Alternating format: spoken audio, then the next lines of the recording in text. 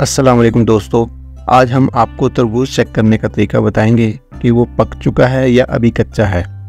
पहला तरीका, तरबूज अगर गहरा सब्ज़ हो और एक तरफ़ से पीला हो तो इसका मतलब तरबूज पक चुका है। दूसरा तरीका, तरबूज की डंडी से चेक करें, अगर डंडी वाली जगह सब्ज़ हो तो तरबूज कच्चा है। और डंडी वाली जगह थोड़ी काली और पीली हो तो तरबूज पक चुका है। तीसरा तरीका, तरबूज को अपने हाथ के अंगूठे से दबाएँ। अगर तरबूज सख्त हो तो तरबूज कच्चा है, और अगर थोड़ा दब जाए तो पका हुआ है। चौथा तरीका, तरबूज का वज़न करें। अगर साइज़ में बड़ा हो और वज़न कम मालूम हो तो तरबूज सौ फ़ीसद कच्चा है, और अगर तरबूज छोटा है और वज़न उसका भारी महसूस हो रहा हो तो तरबूज पक चुका है। पांचवा तरीका, तरबूज को अपने दोनों हाथों से पकड़ें, एक ऊपर और एक नीचे रखें। अब ऊपर वाले हाथ से तरबूज को बजाएँ, और नीचे वाले में अगर हल्की सी भी जुम्बिश महसूस करें तरबूज पक चुका है।